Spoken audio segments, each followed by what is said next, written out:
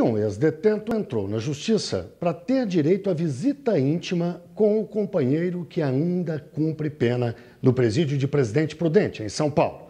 Outros detalhes com a repórter Damares Bubans. A Corregedoria Geral do Estado negou o pedido e determinou visitas apenas no parlatório do presídio, sem direito a encontro reservado. A Defensoria Pública recorreu, alegando que a proibição é uma nova punição. Mas a Corregedoria argumentou que a decisão é uma forma de garantir a segurança pública diante da disseminação do crime organizado dentro dos presídios. O argumento não foi aceito pela Defensoria, que entrou com o pedido de habeas corpus aqui no STJ. A presidente do tribunal, ministra Laurita Vaz, negou a liminar.